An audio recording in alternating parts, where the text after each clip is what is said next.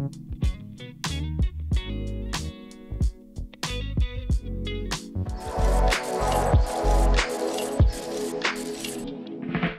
the last few months, masks have become an essential part of what we wear every day. And because of this, I've been trying to come up with ways to make masks look more fun and exciting while still being functional and keeping people safe. I then found a local competition here in South Africa to make a mask inspired by butterflies. Now, if there's one thing I love to do when I get a topic for a brief or a creative project like that, it's to completely ignore it. Or if not completely ignore it, at least to aggressively push the boundaries of what is technically allowed while still meeting the basic requirements of the brief.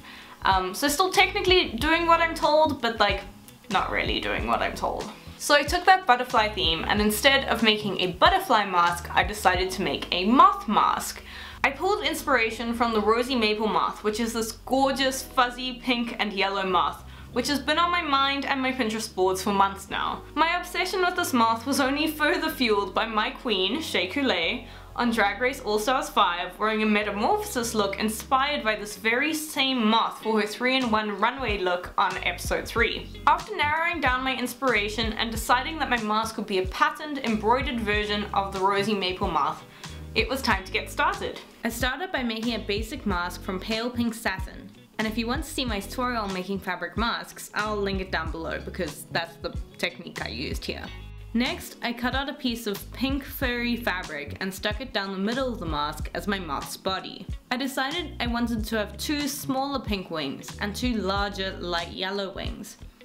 I cut these out of felt and made sure that they fit the body and didn't look too strange, but I didn't sew them on just yet. Next, it was time to open my carefully organized, color coordinated embroidery box, which as you can see is definitely not just a knotted mass of thread that I have to untangle anytime I try to work with it. I pulled out some pink and yellow threads, as well as some mustards and some similar shades to add some variation to the wings. I cut out smaller pieces of felt to add different color details to the wings.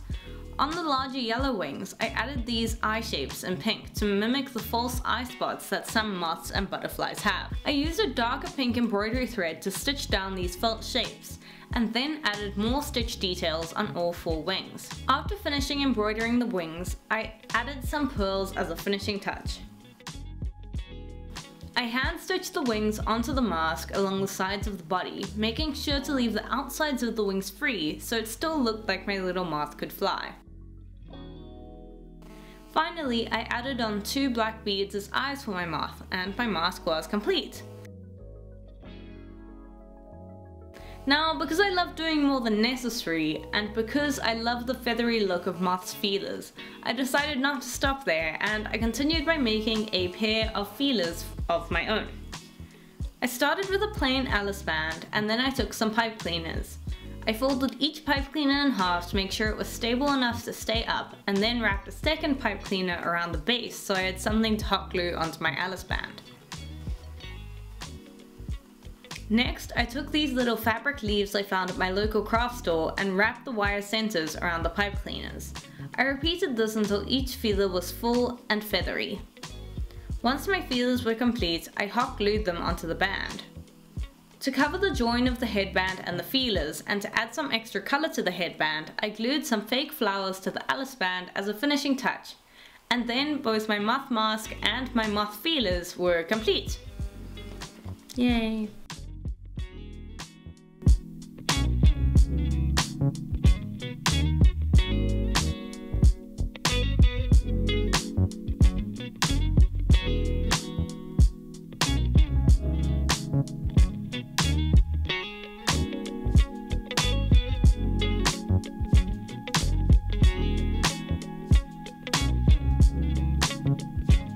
Let me know if you enjoyed this video and if you'd like to see more weird mask creations and more ways to make masks less boring and just bring some joy into the fact that we're literally living in a pandemic.